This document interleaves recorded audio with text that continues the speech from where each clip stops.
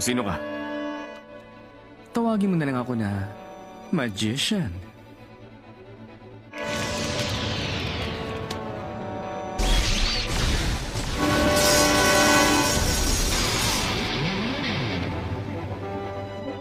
Sundan niyo na si Master Killua.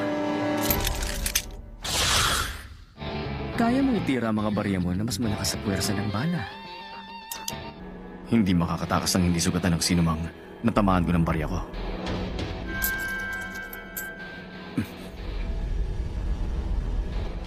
Taglay ng ora ko ang mga katangian ng lastiko at mabisang pandikit. Hindi rin mahalaga kung alam mo ang kapangyarihan ko. Tumahimik ka!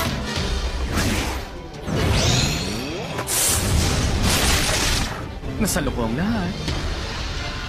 O baka nasanay na lang ang mga mata ko sa tira mo.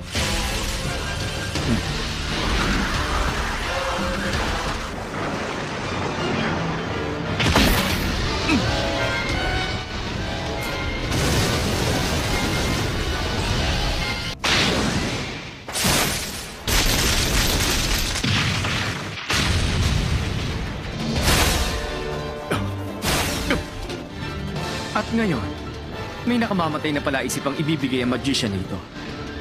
Sa tingin mo, ilang barya kaya ang ibabalik ko sa'yo? Ikaw mismo ang nakakaalam kung anong sagot sa tanong ko sa'yo.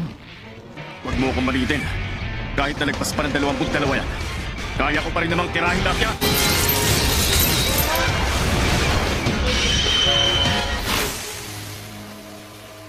Ang sagot, sapat na dami para tapusin ka. Hindi na kailangan sagutin pa na kamamatay na palaisip ang binigay ko.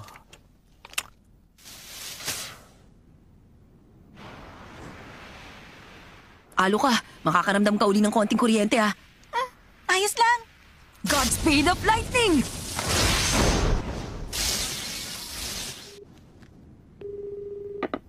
Amane, ako to, si Tsubune. Papunta si Master Killua sa parasta. Sundan mo lang yung kalsada.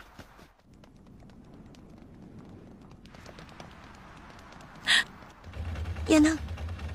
Ang lola ko. Kumapit ka na mabuti sa akin.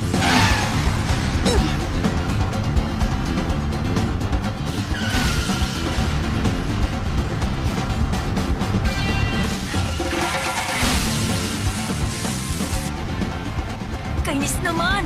Kung dito ako, hindi niyo ako masusundan sa motor! Paano na? Doon natin siya tatalunin.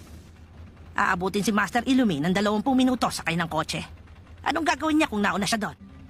Sa tingin mo, anong unang gagawin ni Master Killua kapag nailigaw niya tayo? Hinihintay namin ang pagdating niyo. Kailangan ng mga lima o anim na airship na papupuntahin sa iba't ibang lugar para hindi masundan ni Ilumi. Dadalhin tayo ng airship sa pupuntahan natin. Ayos lang ba yon? Oo.